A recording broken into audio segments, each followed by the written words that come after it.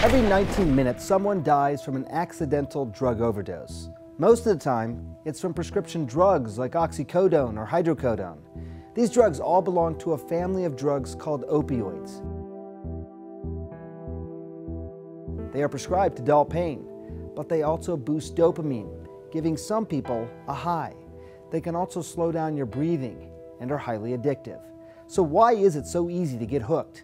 Well, for one, your body can build up a tolerance, so that the more you use, the larger dose you need to get the same effect. Secondly, you can become dependent on them. In fact, your body creates natural opioids that are released when you hurt yourself.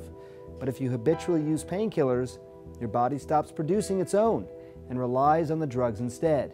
If you try and stop then, the body goes through withdrawal. Consider this. In 2012, there were 259 million prescriptions written for opioid painkillers, nearly enough for every American adult and child to have their own bottle of pills.